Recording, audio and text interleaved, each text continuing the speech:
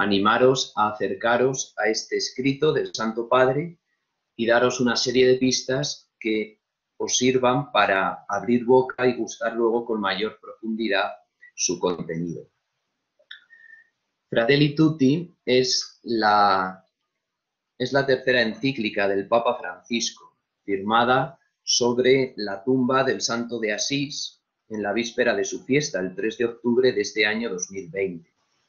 Como sabéis, una encíclica es un documento pontificio dirigido a los obispos y a todos los fieles católicos, por medio del cual el Papa, de un modo autorizado, imparte doctrina sobre algún tema relacionado con la fe o con las costumbres.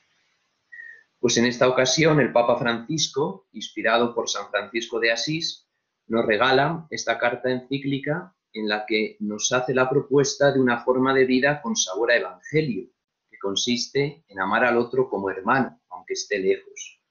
Es una llamada a ser fraternidad abierta, a reconocer y amar a cada persona con un amor sin fronteras, que va al encuentro del otro y es capaz de superar toda distancia y tentación de disputas, imposiciones y sometimientos. Esta encíclica tiene un subtítulo en el cual se indica el tema de la misma. El tema es la fraternidad universal y la amistad social. Estamos, por tanto, ante una encíclica social. Y su título corresponde a las primeras palabras del escrito, el Papa Francisco toma prestadas de San Francisco de Asís, el cual utiliza esta expresión de fratelli tutti, hermanos todos, para dirigirse a todos los hermanos y hermanas y proponerles una forma de vida fraterna, abierta y universal, que hunde sus raíces en el Evangelio de Jesucristo. No es la primera vez que el santo de Asís inspira al Papa Francisco a la hora de elaborar un escrito sino que ya lo hizo en su anterior encíclica, Laudato Si, del año 2015, dedicada al cuidado de la creación. Este hecho, que no es anecdótico, nos permite ya descubrir la continuidad de esta encíclica Fratelli Tutti con el magisterio anterior de Francisco, pues si en Laudato Si la reflexión del Papa se fijaba en el cuidado de la casa común, proponiéndonos el cultivo de una ecología integral al servicio del cuidado del planeta, ahora Fratelli Tutti se centra en las relaciones de hermandad que constituyen a la gran familia de la humanidad que habitamos la casa común. E incluso podemos advertir una conexión estrecha entre esta última encíclica de Francisco y el documento programático de su pontificado, que es la exhortación apostólica Evangelii Gaudium, pues en el fondo podemos considerar a Fratelli Tutti como el fruto del desarrollo de uno de los capítulos de esta exhortación, concretamente del capítulo cuarto, dedicado a la dimensión social de la evangelización.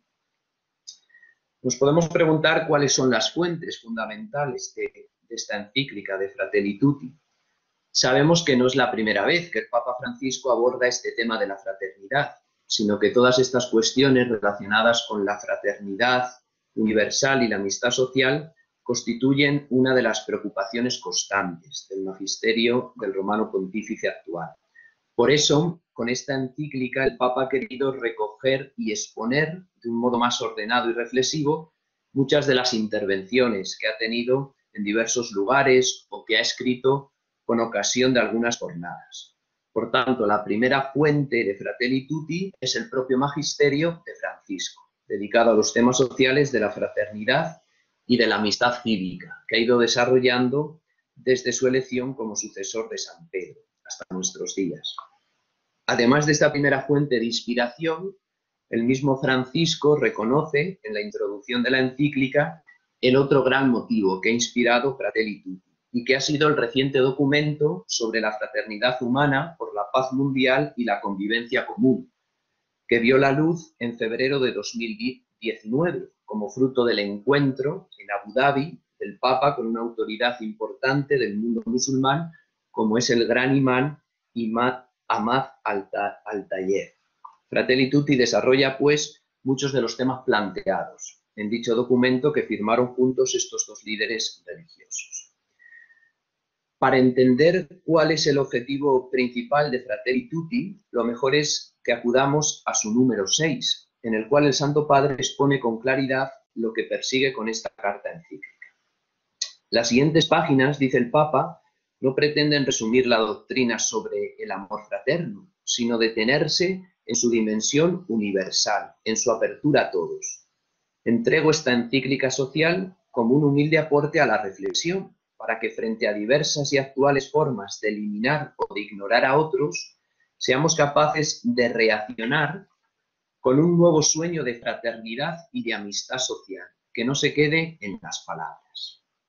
Asimismo, Francisco reconoce en este número que si bien este escrito nace de sus profundas condiciones cristianas, sin embargo, ha procurado exponer de tal manera su reflexión que se pueda abrir al diálogo con todas las personas de buena voluntad. Por tanto, los destinatarios de esta encíclica no son solo los cristianos y los creyentes de otras religiones, sino todos los hombres y mujeres que deseen hacer realidad este sueño que alberga todo corazón verdaderamente humano de una fraternidad universal.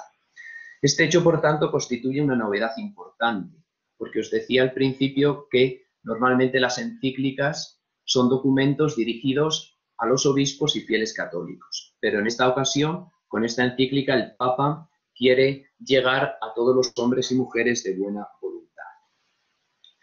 Como no podía ser de otra manera, el Papa Francisco en la introducción de Fratelli Tutti también se refiere a la crisis sanitaria actual del COVID-19, que nos sigue golpeando con fuerza y que ha trastocado todo nuestro estilo de vida ordinario.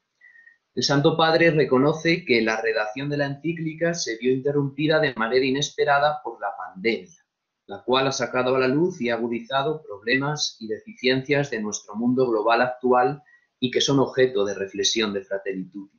Por tanto, la crisis global originada por el coronavirus ha influido de manera importante en la elaboración final de Fratelli ya que la mayor parte de las cuestiones abordadas en el documento como sombras de nuestro mundo actual se han visto agudizadas por la pandemia.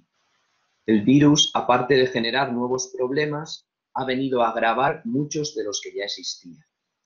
La pandemia está dejando al descubierto nuestras falsas seguridades, nuestra incapacidad para actuar conjuntamente y nuestra fragmentación a pesar de estar conectados en esta aldea global en que se ha convertido nuestro mundo. En esta época difícil que nos toca vivir, el anhelo del Papa es que a partir del reconocimiento de la dignidad de cada persona humana podamos hacer renacer entre todos un deseo mundial de hermandad. Somos una única humanidad y por tanto solo unidos y como familia es como podemos salvarnos y alcanzar la plenitud que desea nuestro corazón, inquieto y buscador. Pero ¿de dónde se saca el Papa esta convicción de que somos una única humanidad? Pues a esta pregunta se responde a lo largo del desarrollo de la encíclica, pero ya desde el principio de su escrito, Francisco adelanta las razones fundamentales de su llamada a la fraternidad universal.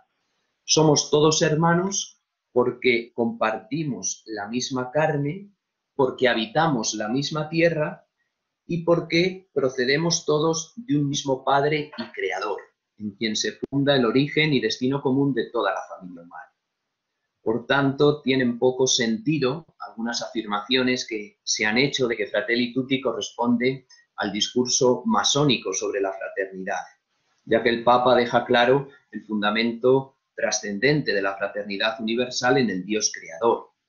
La propuesta de Francisco constituye, pues, el más puro mensaje del Evangelio, aunque su argumentación se sitúe más en el nivel de la ley moral natural, con el fin de poder llegar a más gente y no solo a los católicos, como decíamos antes. Fratelli Tutti es una encíclica más o menos larga, que divide su reflexión en ocho capítulos. Después de esta pequeña introducción al documento, que nos ha servido para contextualizarlo y para descubrir su temática esencial y su intencionalidad, ahora haremos un recorrido por sus diversos capítulos, intentando entresacar las ideas esenciales de cada uno de ellos y sobre todo descubrir la lógica interna que los une y a la que obedece su distribución. Como es una encíclica social, el primer capítulo de Fratelli Tutti está dedicado al análisis de la realidad concreta que se quiere iluminar desde el humanismo del Evangelio.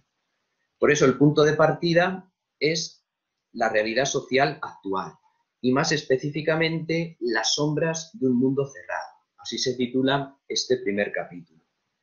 Las sombras de un mundo cerrado que impiden el desarrollo de una fraternidad universal. El objetivo del Papa no es hacer un análisis exhaustivo de todos los aspectos de la realidad que vivimos, sino señalar algunas tendencias negativas del mundo actual que dificultan la realización de una hermandad abierta y universal. Entre estas tendencias oscuras, Francisco comienza señalando que los avances del mundo hacia diversas formas de integración y de unidad se han venido debilitando en los últimos tiempos haciéndose eco de una cita importante de la encíclica del Papa Benedicto XVI, Caritas in Veritate, que se publicó en el año 2009, Francisco señala que nuestro actual mundo globalizado nos hace cada vez más cercanos, pero no más hermanos. Esta cita me parece muy elocuente. Estamos más solos que nunca en este mundo masificado, que hace prevalecer los intereses individuales y debilita la dimensión comunitaria de la existencia. Esta va a ser una denuncia constante del Papa a lo largo de Fratelli Tutti. La crítica hacia una antropología, es decir, hacia una visión del ser humano que reduce a la persona a individuo y a éste a una simple pieza al servicio de un sistema de producción colectivista. Y evidentemente esta visión antropológica reduccionista no responde a la verdad del ser humano el cual está hecho para la relación y para la comunión. Otra expresión de esta antropología individualista imperante que el Papa denuncia es el fin de la conciencia histórica. En concreto, en este tema el Papa habla de una especie de deconstruccionismo, según el cual la libertad del individuo tiene que construirlo todo desde cero. Este hecho cultural se da a diversos niveles, también a nivel antropológico pues existe un deconstruccionismo antropológico que dice que la persona se tiene que construir desde la nada, incluso sin la referencia al propio cuerpo, dejando este de ser esencial y normativo para el descubrimiento antropológico y para responder a la pregunta por nuestra identidad. Este deconstruccionismo que nos incita a ser unos desmemoriados y a ignorar nuestras raíces espirituales y culturales pues se convierte en el caldo de cultivo idóneo para el surgimiento de las nuevas formas de colonización ideológica, imponiéndose lo que podemos llamar la dictadura del pensamiento único. Ante este mundo dividido y sin un proyecto común, Francisco señala la necesidad de constituirnos en unos otros, que es la humanidad única que habita la casa común. Se trata de promover una ecología integral, que ponga a la persona en el centro y que se preocupe de sanar y de cuidar las relaciones que nos constituyen. Una vez más, el Papa critica con dureza lo que llaman la cultura del descarte, la cual, desde un planteamiento utilitarista, se atreve a descartar a quienes todavía no son útiles, como los no nacidos, o los que ya no son productivos, como los ancianos el descarte se expresa de múltiples maneras, como son la precariedad laboral o el racismo, que reaparece una y otra vez. La desigualdad de derechos y las nuevas formas de esclavitud siguen vigentes. Vivimos una tercera guerra mundial en etapas, no hay horizontes que nos congreguen, reaparecen conflictos y miedos que se expresan en la creación de muros para evitar el encuentro, hay un deterioro de la ética y un debilitamiento de los valores espirituales y del sentido de responsabilidad y de pertenencia a una común humanidad. Y ante todo este panorama oscuro, tenemos la tentación del aislamiento y la cerrazón en uno mismo, en los propios intereses. Pero el Papa nos recuerda que esto jamás será el camino para devolver la esperanza a nuestro mundo y obrar una renovación. El camino solo puede ser la cercanía y la cultura del encuentro. Dentro de todo este análisis que el Papa hace de la realidad en este primer capítulo, resulta interesante su reflexión acerca del carácter ambivalente de los nuevos medios digitales de comunicación social. Tenemos la ilusión de estar más comunicados y parecen acortarse las distancias entre nosotros. Pero al mismo tiempo, señala el Papa, en el mundo digital el respeto al otro se hace pedazos y deja de existir el derecho a la intimidad. De entre las sombras surgen movimientos digitales de odio y destrucción. Se vive la agresividad sin pudor y proliferan la mentira y la manipulación. A este respecto, el Papa no esconde que también estos fanatismos destructivos en los medios digitales son protagonizados incluso por personas religiosas y medios católicos. La conexión digital nos mantiene conectados, pero no tanto comunicados ya que las relaciones humanas son encarnadas y piden presencia real. Me parece que esta es una reflexión también muy luminosa que hace el Papa en este primer capítulo. Este carácter ambivalente o paradójico de los medios de comunicación social actuales. Nos mantienen conectados, pero en el fondo no comunicados. Algunos filósofos actuales, para referirse a esta situación generada por los nuevos medios digitales, utilizan la imagen del enjambre, de la colmena, para describir nuestra situación actual. Cada uno está encerrado en su celda digital, estamos conectados, pero en el fondo no comunicados. A pesar de todas estas sombras densas que cercan nuestro mundo, el Papa Francisco concluye este primer capítulo afirmando que hay lugar para la esperanza, porque ciertamente el panorama que se dibuja pues es bastante oscuro, pero es significativo que el Papa concluye haciendo esta afirmación. Hay lugar para la esperanza. ¿Por qué? Porque Dios sigue derramando eh, semillas de bien en la humanidad. Y solo la mirada de fe puede ser capaz de reconocer esas entre las sombras, estos signos de Dios que nos alientan a la esperanza.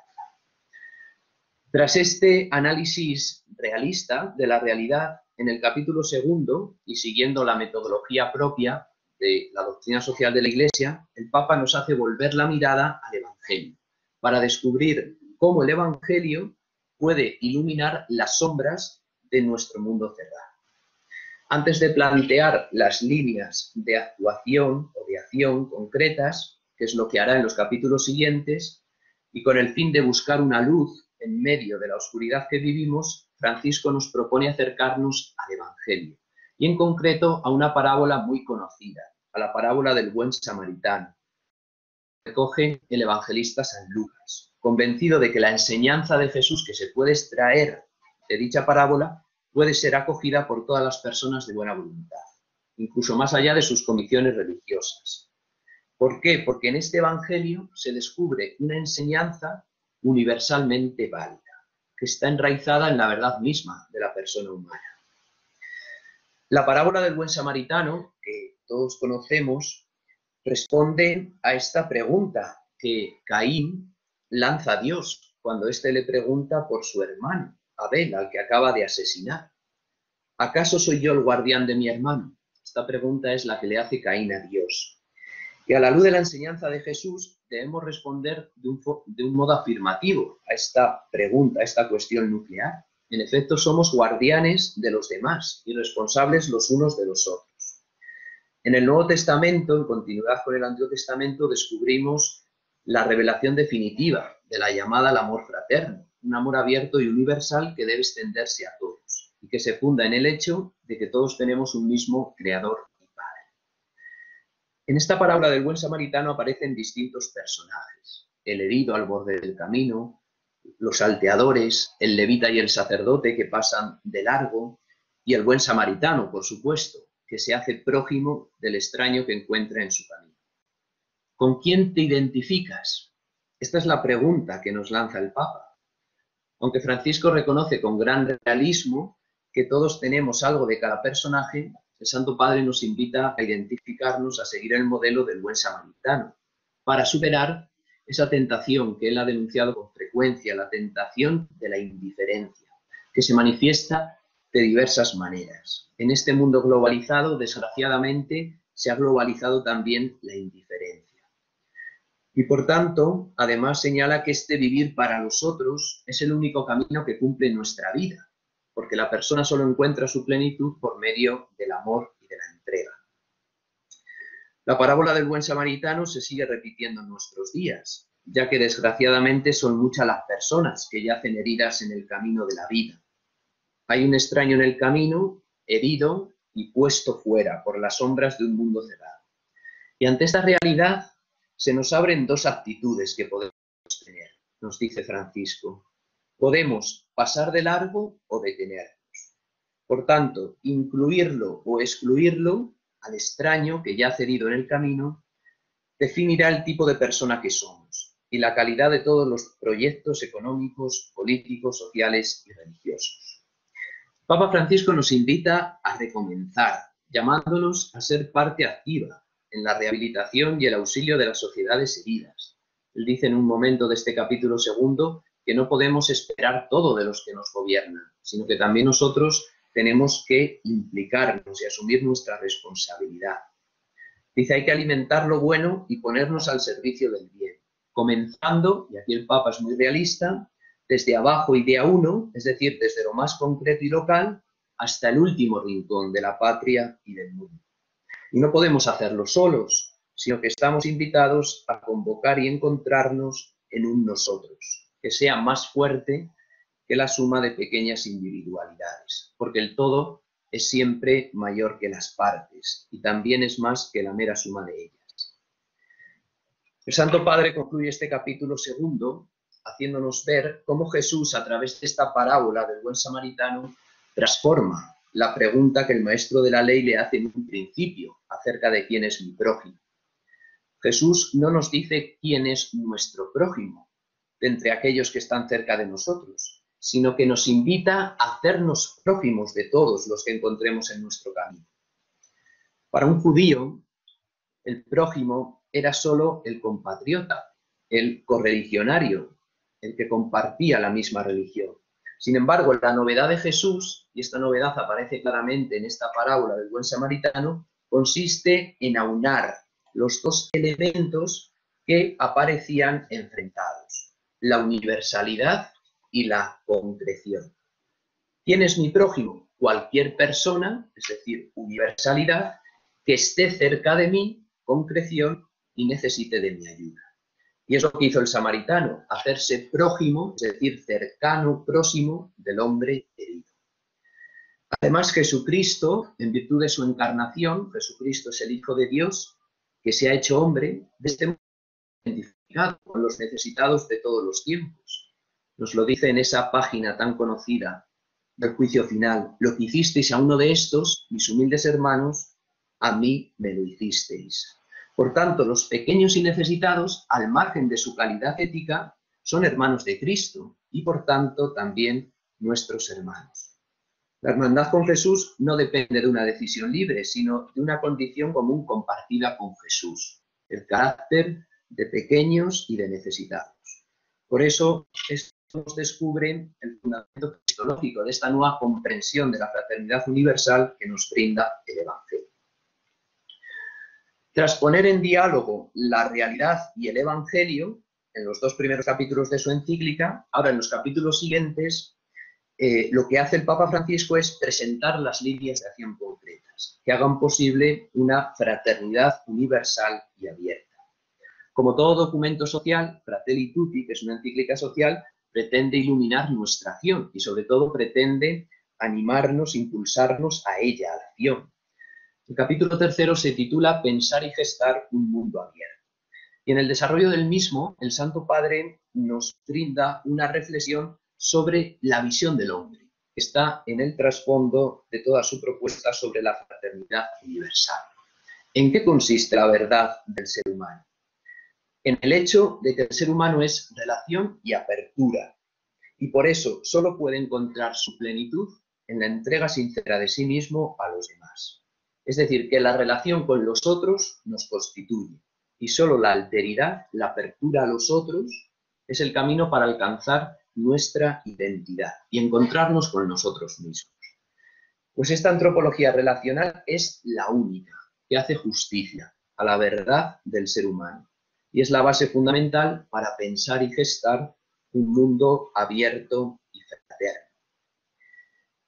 El amor por su propia naturaleza es estático, es decir, nos descentra, nos saca de nosotros mismos, nos impulsa más allá.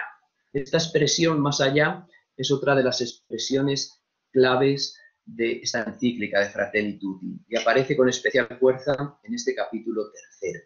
El amor nos descentra, nos impulsa más allá y nos lleva a establecer relaciones que nos constituyen. Toda relación sana y verdadera nos abre a los otros y nos impide quedar encerrados en nuestros intereses individuales y egoístas. Por eso el amor es el criterio determinante para valorar la calidad de una vida humana. Y solo esta forma de relacionarnos, basada en el amor al otro, por ser quien es, pues hace posible la amistad social que no excluye a nadie y la fraternidad abierta a todos. El amor, por su propia dinámica, nos abre cada vez más a los otros y tiene que impulsarnos a integrar a todos aquellos que yacen en las nuevas periferias existenciales. A este respecto, el Papa Francisco acuña la expresión de forasteros existenciales para referirse a todas aquellas personas que son expulsadas como exiliados ocultos a los márgenes de nuestra sociedad. Por eso la apertura universal del amor no solo tiene que ser geográfica, sino tiene que ser existencial para alcanzar a todos los forasteros existenciales que son ignorados y abandonados por nuestra sociedad. La apertura y el universalismo que nos propone Francisco no equivale a hacer un mundo homogéneo, sino que la clave está en saber integrar y armonizar la diversidad, en orden a gestar un mundo plural y de variado colorido. Otra propuesta interesante del Papa en este capítulo es la invitación a trascender un mundo de socios. Hay una diferencia esencial entre prójimo y socio. El socio es alguien a quien me asocio por intereses personales, pero cuando sucede esto, el otro deja de ser prójimo para convertirse en mero socio. La única senda para caminar hacia la amistad social y la fraternidad universal es el reconocimiento de la dignidad inalienable de cada persona. Todo ser humano es valioso por sí mismo y tiene el derecho a vivir con dignidad y a desarrollarse integralmente. Y sin respetar este principio elemental no hay futuro, ni para la fraternidad ni para la supervivencia de la humanidad. También Francisco, este capítulo tercero, nos hace una llamada a redescubrir el valor de la virtud moral y la actitud social de la solidaridad.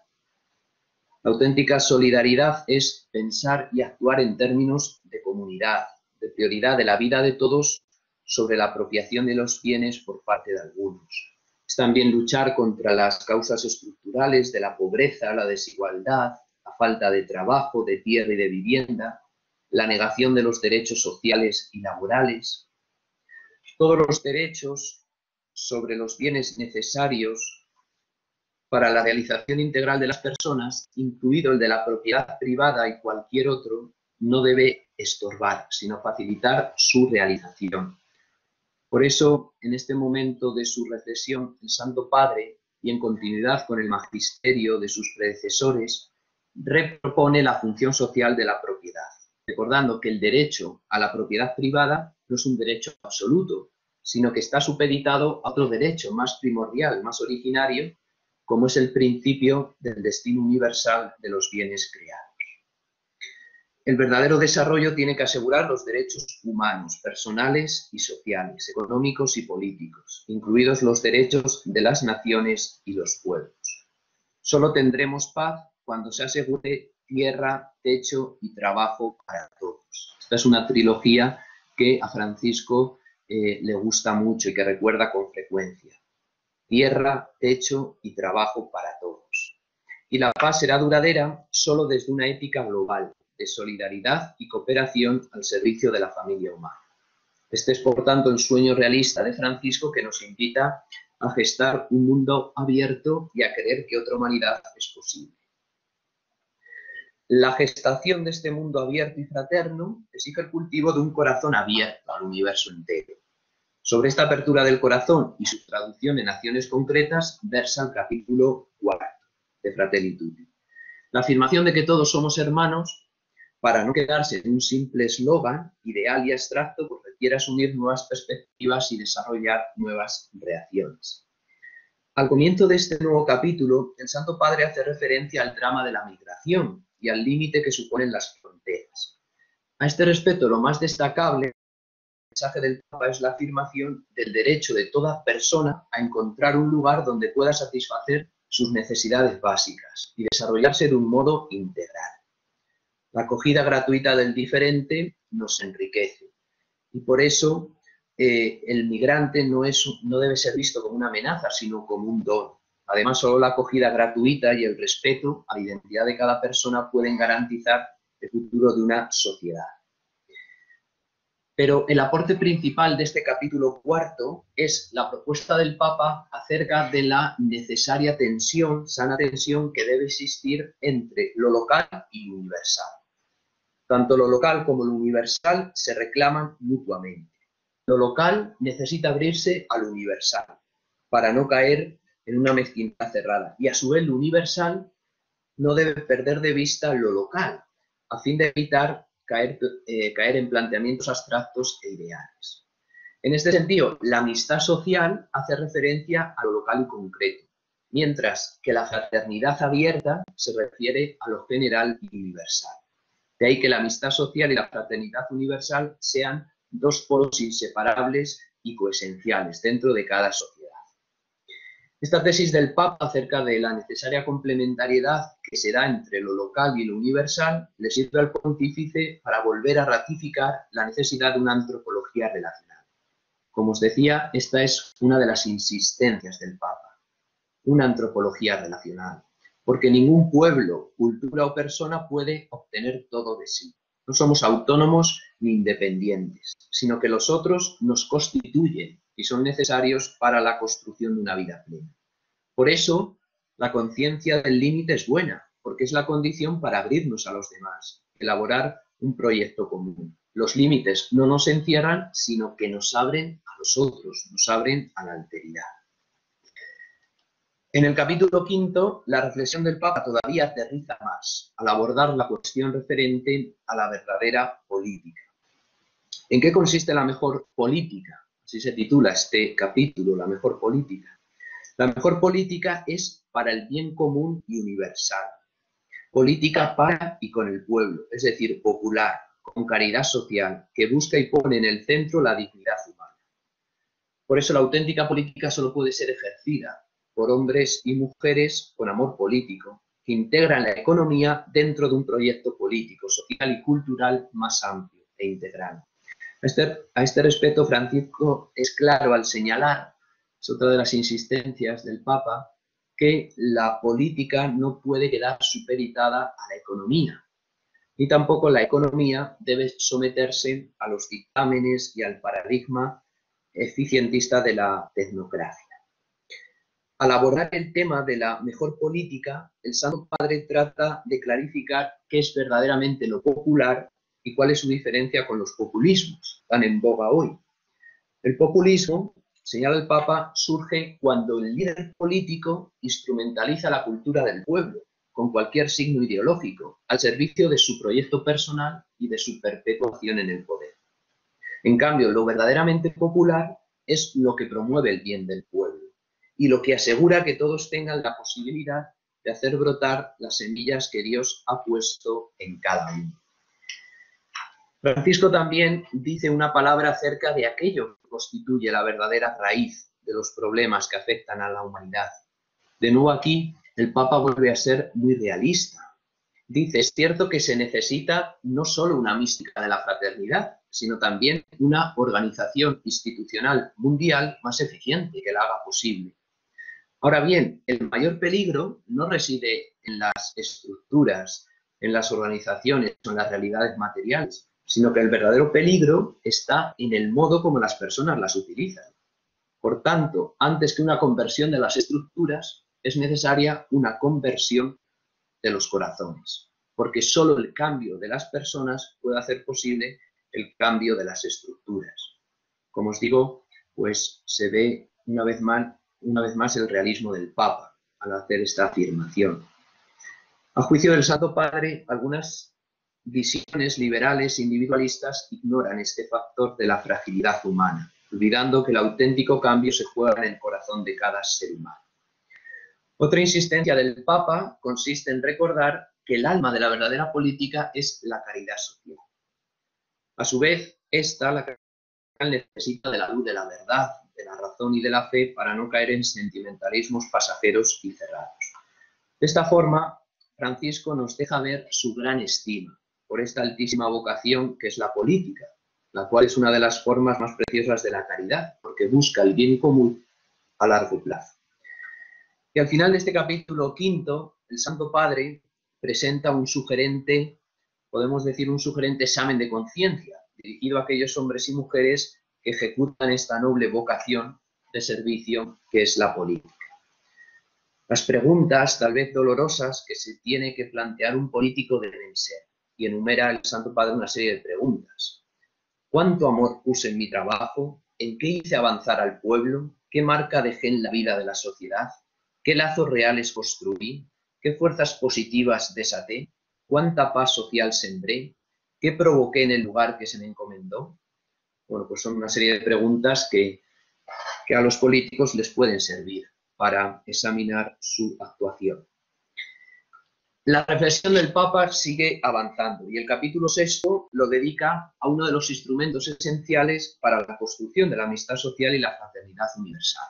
Y este instrumento esencial es el diálogo. Al inicio del capítulo se nos recuerda o se nos descubre la esencia del diálogo.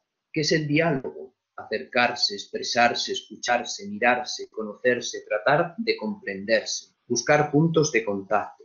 Todo eso se resume en el verbo dialogar.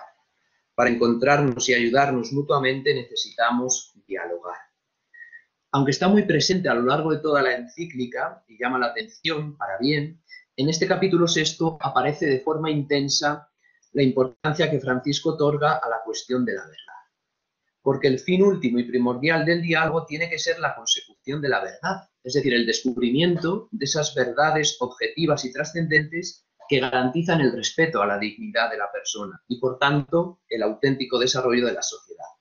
En este sentido, el Papa es tajante al afirmar que el relativismo no es la solución, pues sin el respeto y el reconocimiento de una verdad objetiva sobre el ser humano no puede haber verdadero progreso. La razón es capaz de descubrir, aunque no sin esfuerzo, esos valores universales, permanentes y nunca negociables que se derivan de la naturaleza humana y que están más allá de las conveniencias del momento. Solo estos valores pueden dar solidez y estabilidad a una ética social global, válida y normativa para todos.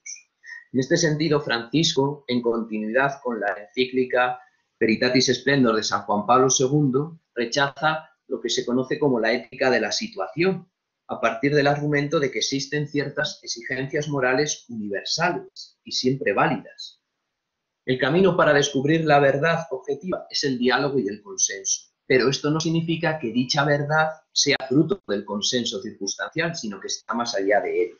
Esta distinción también me parece muy importante. El diálogo es el camino esencial para construir una cultura del encuentro. Y el fin último de esta cultura del encuentro y de este estilo de vida es la conformación de un poliedro que logre integrar las diferencias mostrando cómo éstas se complementan y se enriquecen. No es la primera vez que el Papa Francisco recurre a esta imagen del poliedro para expresar esta idea de la necesaria diversidad que tiene que existir en toda comunidad humana.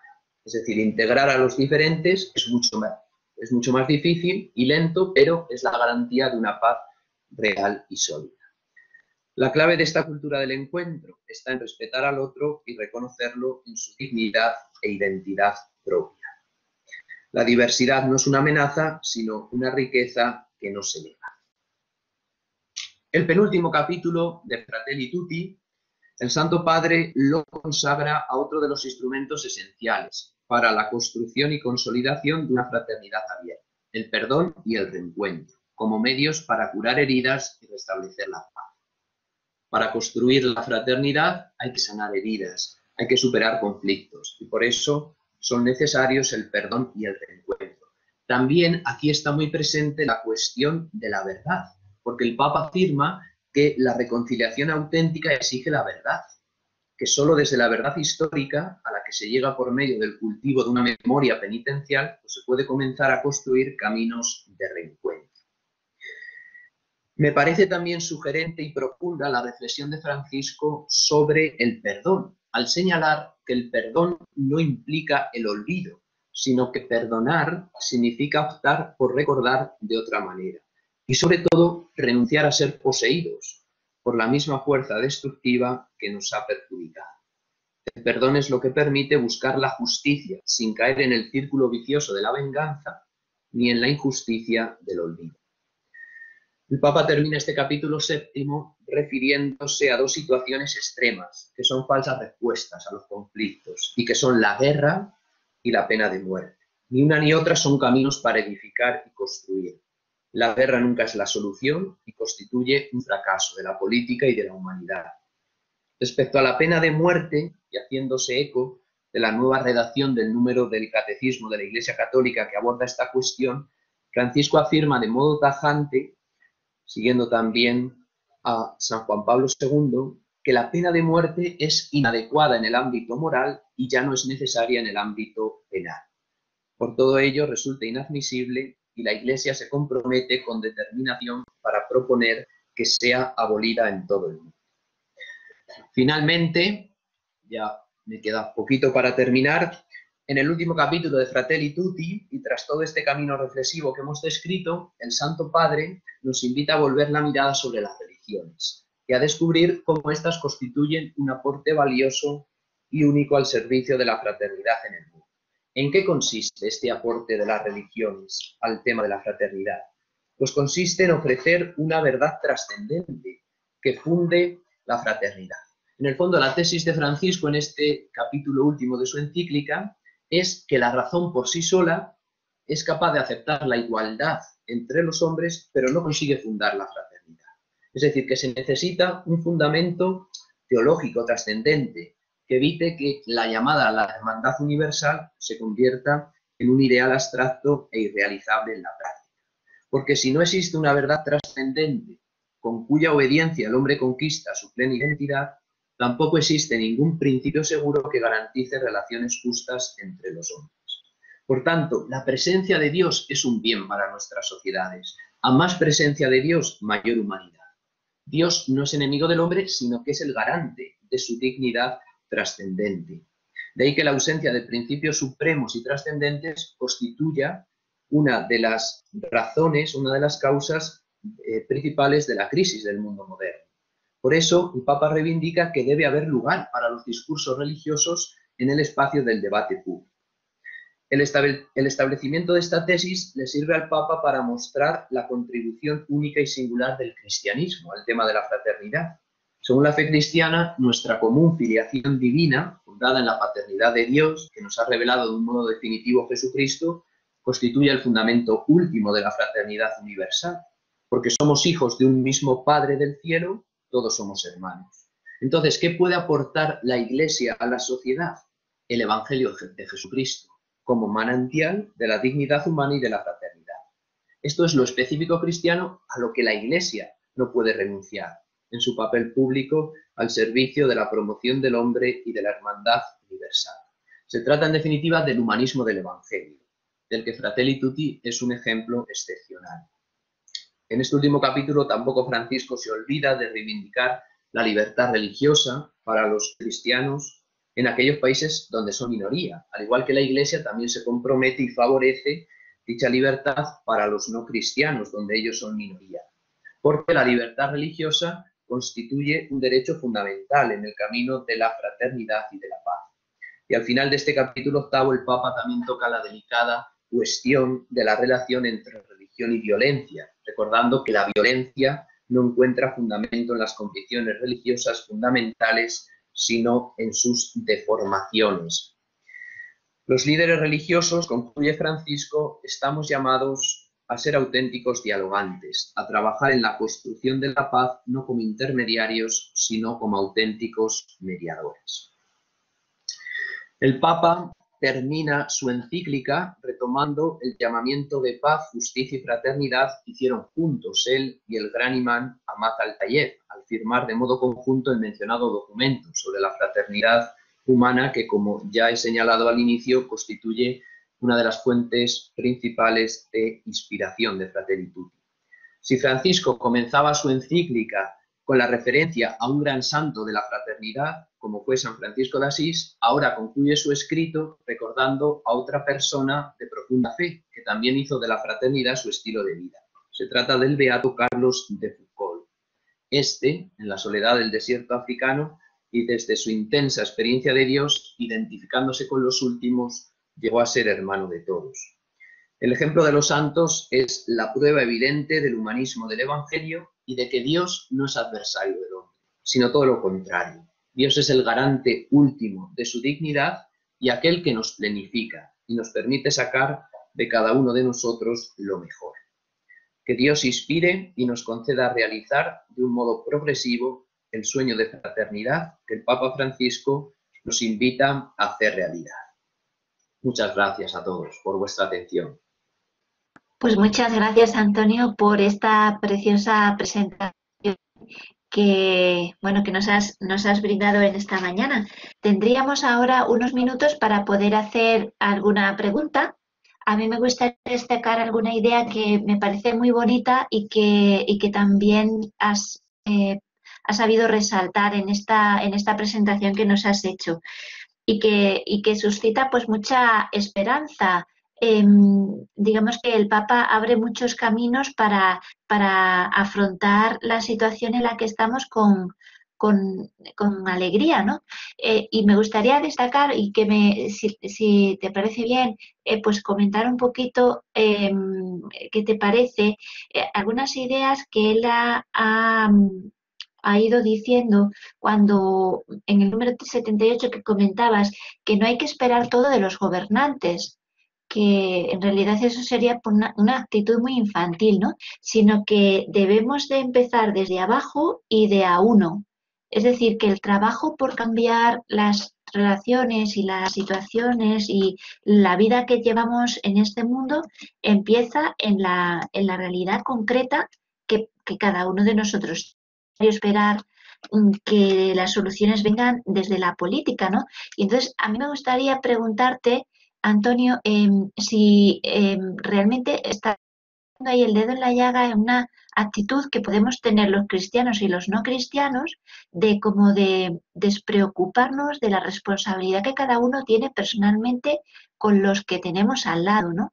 Y como que eh, realmente el Papa al recordarnos esto nos está diciendo, bueno, es una responsabilidad y es una oportunidad. La política tiene su papel, pero quizá no sé qué te parece a ti, le damos más importancia de la que tiene.